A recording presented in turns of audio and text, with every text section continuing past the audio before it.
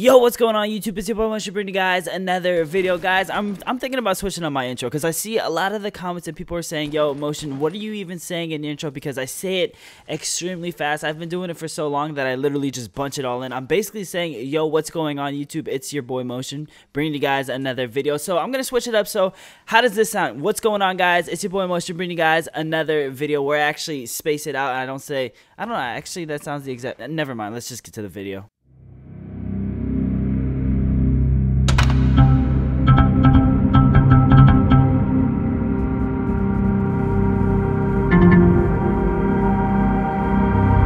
So in today's video, we're going to show you guys how to complete all of week 6 challenges in under 60 minutes, you guys. This is going to be extremely quick. You guys can actually do this within 40, 30 to 45 minutes if you do it right. I know a lot of you guys out there are so close to getting the Omega in the Season 4 Battle Pass. So we're already in week 6 challenges and it's coming close to an end. So a lot of people are trying to complete these challenges so that way they can actually get the Omega skin before time is too late. So that's exactly what we're going to cover in today's videos. We're going to show you guys guys exactly the best way to complete all the week 6 challenges in under 60 minutes. So we're going to start off with the one that I ended up doing first, which was spray over different carbide or Omega posters located on the map, you guys. Now, we had to do this seven times. Now, on screen right now is an image of every location for the posters, you guys. There's actually more than just these locations, but these are the ones that I ended up going to. I basically looked at Fortnite Intel's image and map, and it showed me all the locations that I need to go to. So I started off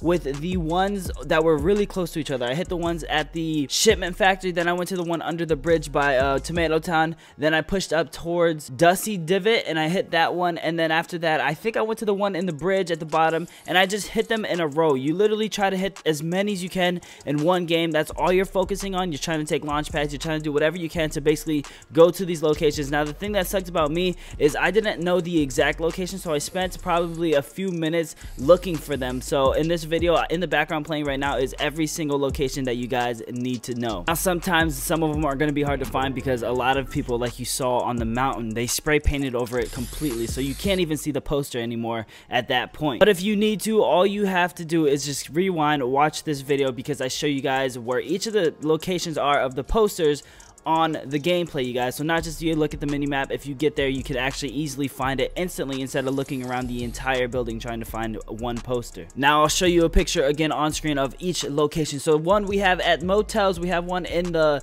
witch house over by pleasant park. We have one at the crates on the far right. And then over at the top of it there's under the bridge. You guys saw that in the gameplay. Dusty divot there's one next to the mountain or actually on top of the mountain. One's in tilted towers one's at the bridge one's at the disco party and one is at the prison, you guys. Those are all the locations that you need to know. There's more on the map, so if you guys do find other ones, make sure to spray paint that just so that way you can knock it out even quicker. Next challenge that we're going to cover is probably the hardest one that's probably, it's not the hardest one, but it took the most time just because you're literally landing, opening up one chest, dying, and sometimes you don't get there quicker than anyone else. So this one is search chests in Loot Lake, guys. There's a lot of chests in Loot Lake, but because this challenge just dropped and there's a lot of people going there trying to do it, the best that you're going to be able to do is land, get one chest, and then you're probably going to end up dying. Sometimes you guys are actually going to see in the background playing right now, you're going to see that I die without even getting a single chest. So it does suck. Sometimes you're going to die a lot. That's probably the one that's going to take the most time out of your challenges. Um,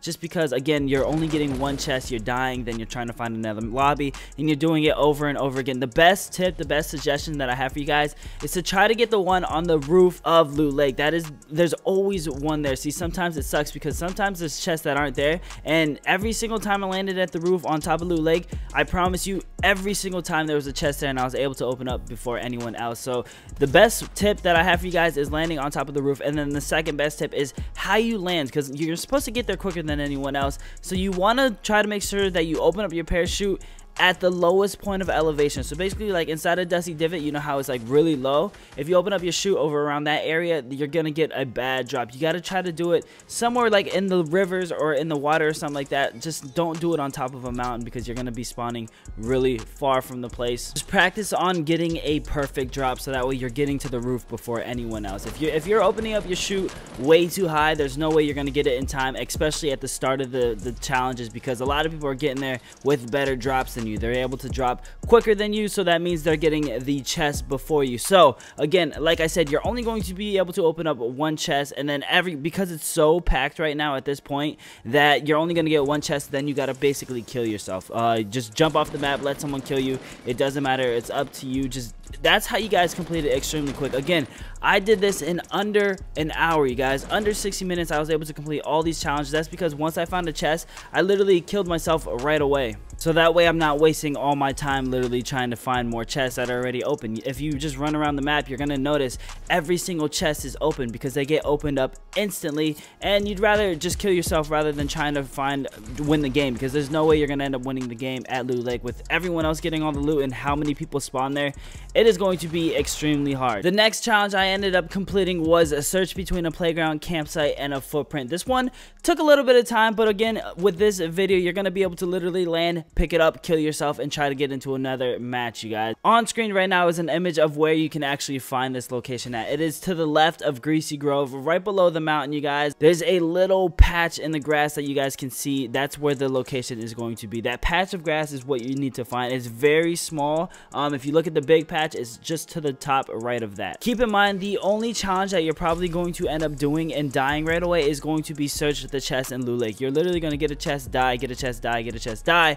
But the other ones like spray paint the Omega posters, you can also try to get SMG eliminations, shotgun eliminations, or damage and you could try to get retail row kills while you're doing those as well. Right now, in the background playing, you're gonna see me hijack this dude's cart because I knew it. I was like, all right, if I get a shopping cart, I'm gonna be able to get across the map a lot quicker. So I literally bribed him. I gave him something so that way he would jump off the shopping cart and pick it up while I jump on the shopping cart. So I hijacked this dude's shopping cart. And again, shopping carts are very, very good because they allow you to actually get around the map a lot quicker. So you can literally go from one Omega poster to the other Omega poster in instant seconds because you're using a shopping cart and it's going to make you achieve these challenges a lot quicker. Things like shopping carts, launch pads, uh, impulse grenades, anything that can get you around the map even faster is going to help out a lot. You're going to be able to actually uh, achieve a lot of these challenges quick. So launch pads are probably the best thing. Like you saw right here, I saw the supply drop coming, so I used a launch pad to get there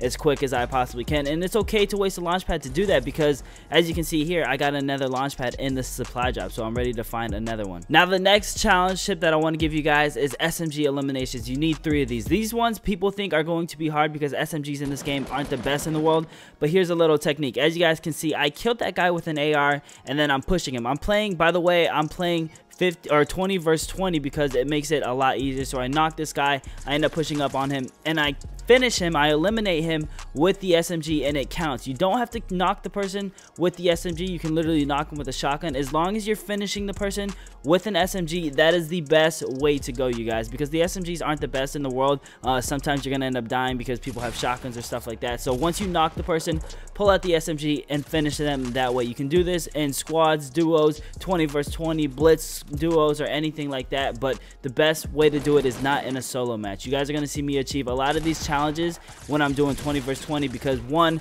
the loot drops a lot quicker, so you're going to see supply drops come down a little bit faster. So maybe you can actually get supply drops quicker by doing that also when you're doing 20 versus 20 because the the loot is a little bit better in 20 versus 20 I thought, hey, maybe because I'm doing 20 versus 20 and the loot is better in that game mode that there's going to be more chest drops. So that way when I go to Loot Lake and stuff like that, there's actually going to be chests there instead of doing solos and only finding one chest and we're all fighting for that one chest. So that was my mindset is to do a 20 versus 20 a lot. And the next challenge we're going to cover is a shotgun damage to opponents, you guys. This is fairly easy for me. I literally, in the background playing right now, you're going to see me do all 2,000 damage to opponents with shotguns in literally one game. I literally rocked the double pump.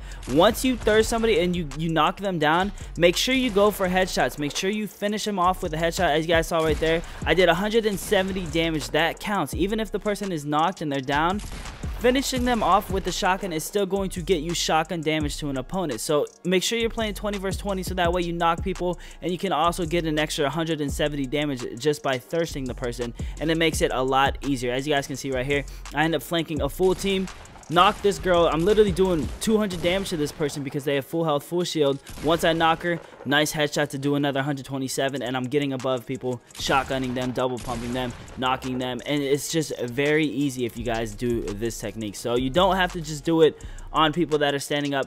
Everyone that gets knocked, it's also very good to do it there. So again, 20 versus 20, that is probably the best way to go. So that way you can knock people and finish them that way. The last challenge is probably one of the easiest ones that I ended up having to do because it's Retail Row. Now, sadly, I don't have gameplay of me doing it during the challenge week, but I actually have footage of me getting kills at Retail Row. So basically, I just did a normal solo showdown game mode where it's quick. A lot of people end up going to land at Retail Row, and I just basically played the game normally. You literally go to Retail Row, you play it normally, you try to do your best that you can at Retail Row. Sometimes you're to be able to get three kills right away depending on your skill level. Like for me, I did this in probably five minutes. I landed Retail Row, I ended up getting three kills, and I killed myself instantly so that way I could just get it over with. I have the challenges knocked out, and it's that easy. But with that being said, you guys, that is how you achieve all of week 6 challenges in under 60 minutes. Again, it took me 40 to 45 minutes to actually do this, and I didn't know where the posters was. I spent most of my time actually trying to find the posters,